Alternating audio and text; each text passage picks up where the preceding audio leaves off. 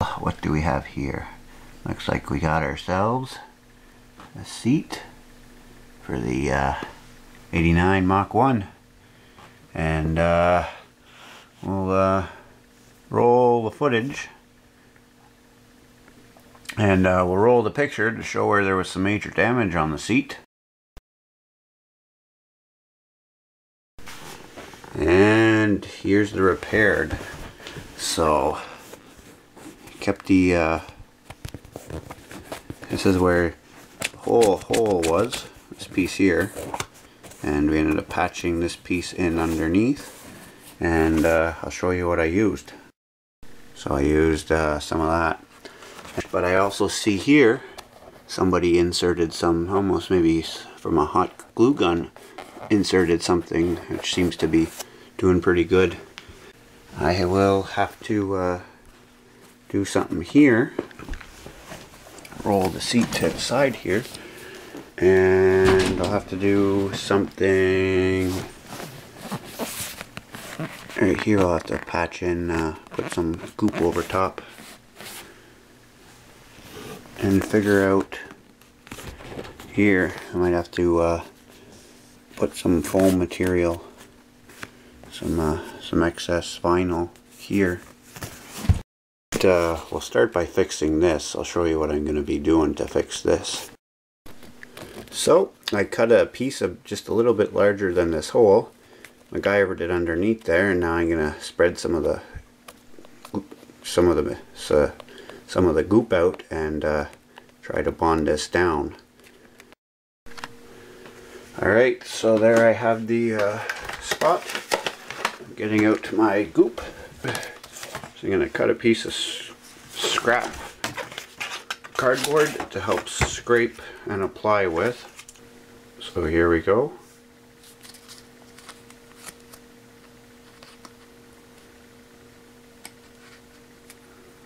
Got it like that.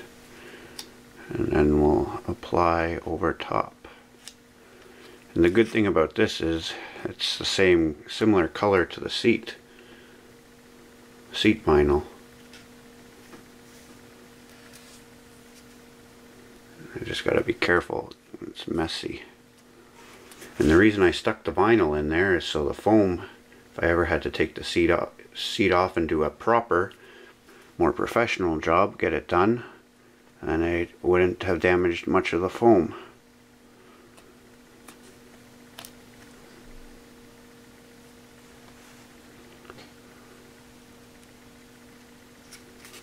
Kind of use it like a scraper and I just got the other finger in what I did before just like that. And when we'll get there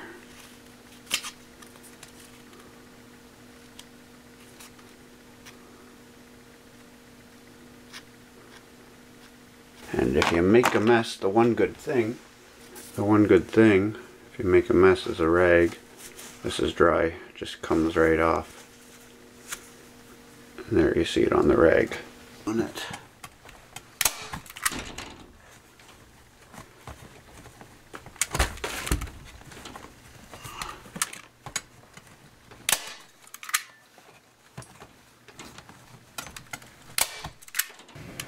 And if you're wondering what this piece is, well, in the uh,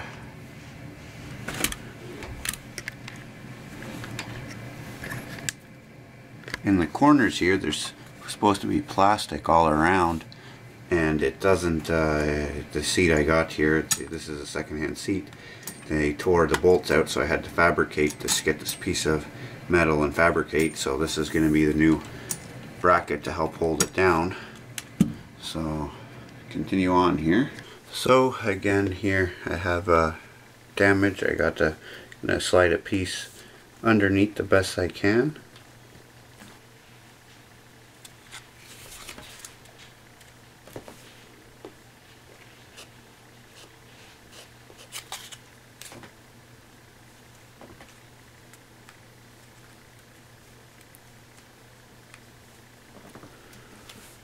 So there we have it for this spot here.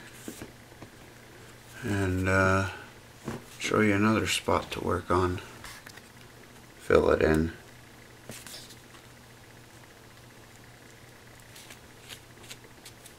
Kind of help seal it up and protect from any water and stuff getting in there. Not pretty, but saves having to get the seat upholstered and do the job for the time being, you know, get riding riding back on. Mach 1 there, she is a pro project anyways there to get different things, different parts to make her back to the way she should be, and this is one of them. Well, she's a cold one today. It's uh, minus 16, uh, minus 15 Celsius. And uh, you can see the wind kicking there in the trees, blowing them. Uh, yesterday I finished up the uh, Mach 1 seat there, so we're going to head on and head to the Mach 1 herself, itself there and uh, pull off the Formula Plus seat that's on it right now. So we'll head on over to the sled. Well, here you got the sled. And uh, you can see a bit of the seat there. Got my socket here. I'm going to reach underneath the seat. There's two bolts at the back. One here and one over there. And uh, loosen her off to off. Yeah, so I got the bolts loosened off. It's a 10 mil. So if I get the seat off now, I have to kind of lift up. So I'm going to open up the back here. And I'm going to help grab it. There you see it's popped, but you don't break the light. And then you just slide her back. Now I'll show you here. I slide back this far. Gotta watch my wiring now. So I'll show you the wiring. So here you can see the tank and the seat slides all the way to the front. There you can see the uh, fuel unit there, the gauge.